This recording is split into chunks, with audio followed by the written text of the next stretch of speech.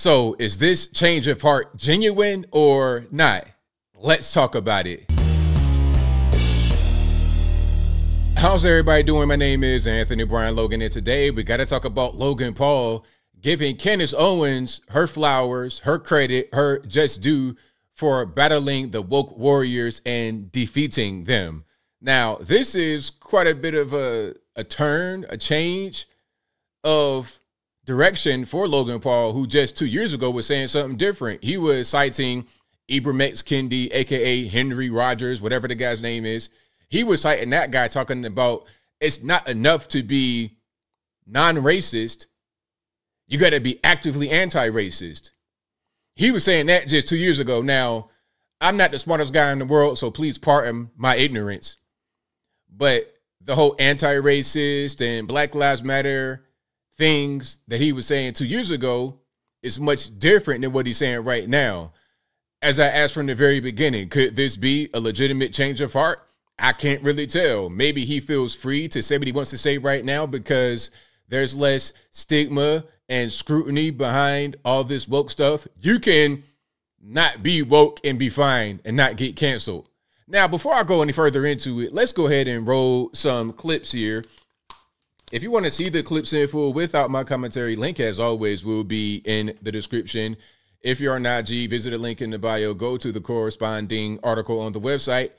But without further ado, let's go ahead and roll it.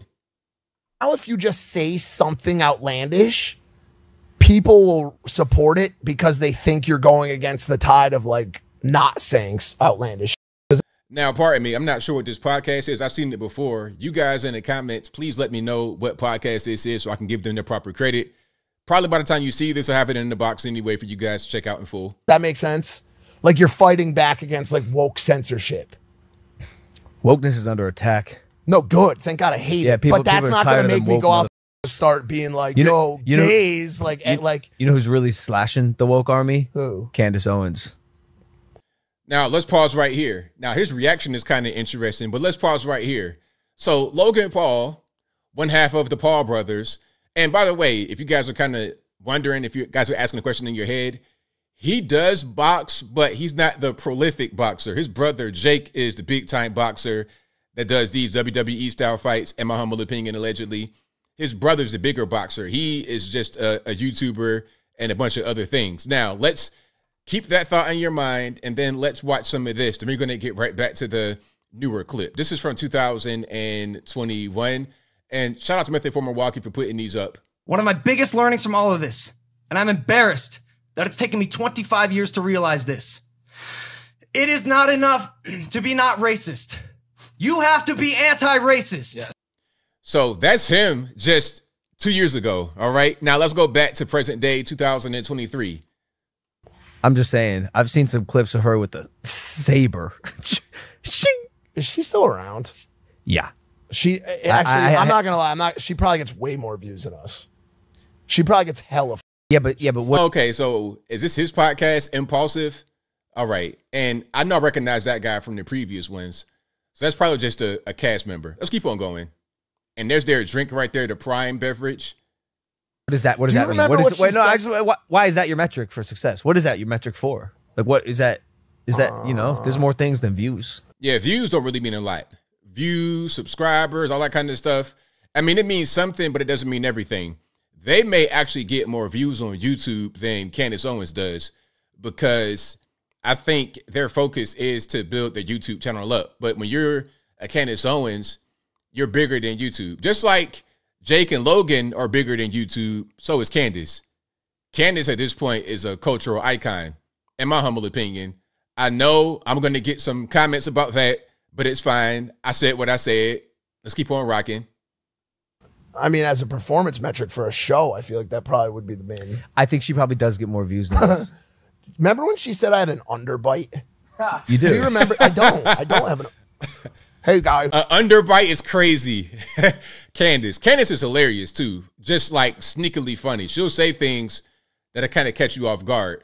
Welcome back to the show. Uh, like that no, but that's she could have said so many things about me, and she said I had an underbite, which I don't. She, well, you should honestly be sure. grateful because she took a, a little dagger and shanked you a little bit. versus, I've seen some clips of her recently dual blades off the back around yeah. the neck, throat cutting motherfuckers when she's out giving her speeches at college campuses. Everyone loves oh, a, no, everyone loves a woman that. who can kick ass. She's been doing that for a while, especially That's... a pregnant woman who can kick ass. Yeah, Candace. She been she been ending wokeness single handedly. I think. I think it's over. It's on the way out. It's, it's on the way out. Huh? It's over Will it come back? You, because will keep, wokeness come back? No, well, yeah, I think it will. I think that wokeness, people are starting to get tired of it, and I'm not sure it'll go anywhere anytime soon because the issue with wokeness is that it's a virus that teachers in K through 12 in college are spreading and also in the workplace. So while there's an active battle against it, there's also an active battle to maintain it and spread it. So it's going to be around for a while because of that, but there is an active fight. It's like it's like a little war going on between the wokesters and the anti-wokesters. Five years. Everything seems cyclical. Yeah, We're going to forget. It's a pendulum. That's right. Sean Strickland is now the ideal human. That is. All right. So there that's that. Now let's get back to the 2021 Jake Paul. All right. Let's start from the top and see what he says right here. And then you're going to see a big contrast. And the question you got to ask yourself at the end of it is was he saying this because he really believed it back then? Does he still believe it? Has he had a change of heart? Is he feeling more open to not be woke because there's less taboo behind it? Let's check it out. One of my biggest learnings from all of this, and I'm embarrassed that it's taken me 25 years to realize this. It is not enough to be not racist. You have to be anti-racist. Yes. Condemn those who feign superiority because of the color of their skin. Friends, hold friends accountable. What's up with the screaming and all that kind of stuff? Is this slam poetry? Is that what I'm hearing right now? Uh, Logan, Jake, and by the way, these guys, Logan, Jake, State Farm, all these people, they're kind of interchangeable. Thing one, thing, uh, thing one, thing two, freaking Frank, Dumb and Dumber. What's going on? Tomato, tomato. But anyway, hold your family accountable, hold yourself accountable, and most importantly, we must hold our authorities accountable. Police officers, politicians, policymakers. As Killer Mike said, bully the politicians at the voting booth. Mm-hmm. Make your vo- voice heard. Attend a protest. Speak up against injustice. If you're white, if you look like me, use your privilege. This is this is very very very very very woke. This is like the belly of the beast, the epitome of wokeness. This is just two years ago. Same guy, same guy. Uh, Logan, Logan Paul. And for those who do not think white privilege exists, you are blind. You are delusional, and you are part of the problem. I can count on zero hands the amount of times that I have feared for my life at a routine traffic stop.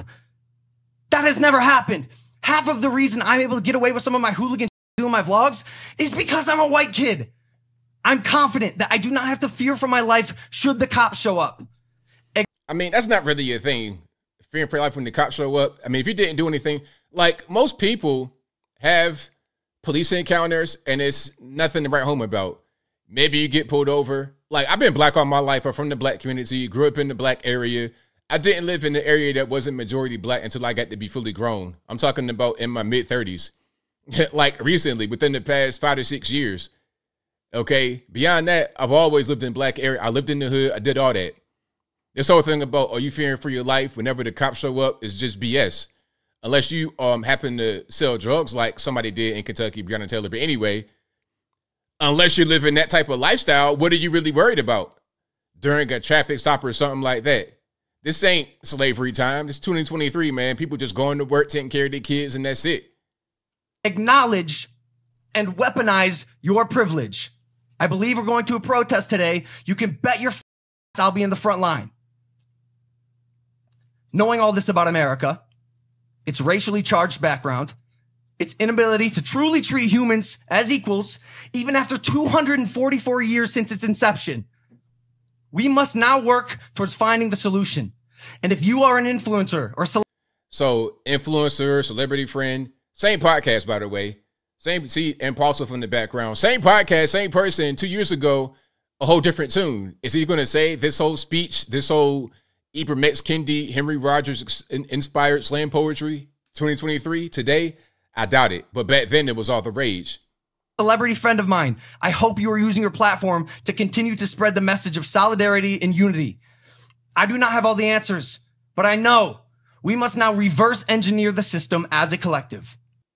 All right, so there you have it. Uh, Logan, aka Jake, aka Jake from State Farm, aka Thing One, Thing Two, freaking frack, Dumb and Dumber. I ain't gonna say that. Um, I think what he's saying right now makes a lot of sense. But what he said right there in that last clip from 2021 was a total opposite. So the question I had from the beginning is, as I close, is he having to change of heart? Did he just uh, feel more free to express himself in a true way? Was he being truthful back then? Is he being truthful now? I can't really tell. But I think ultimately he's saying the right thing now. And I'm willing to just forget the 2021 version of Logan Paul. Well, I'm not going to forget it. I'm going to just kind of put it over there. I'm going to put it over there for now and look at what he's saying right here. And I hope that a lot of guys and girls who have had the woke sentiment before and they pushed it out to a broad audience, hopefully more of them are going to retract those statements and push out a more positive message, one that's against all the woke stuff and against all the weird, ridiculous nonsense that they want to put on us and our children. Hopefully, they all do that for the betterment of our society. But I think I'll leave that right there for now. And what say you? Do you think that Logan Paul has turned over a new leaf? Are you buying what he's selling to you right now? Whatever your thoughts are, let me know in the comments below. You guys may or may not know where I'm at. I think that he may feel more free to say what he really wants to think now in 2023. And then also maybe he's been living and experiencing certain things over the course of a short period of time. He's a pretty young guy. He was 25 back then, so what, 27 right now? So you're just starting to learn things. Like really, I kind of had some epiphanies right around his age that made me think differently. So maybe there is an actual revelation going on, and I think that he's not alone. People every day they come up to me or they send me emails. They might call my live show that I do every Wednesday and Saturday on the channel, 8 to 11 Eastern Time.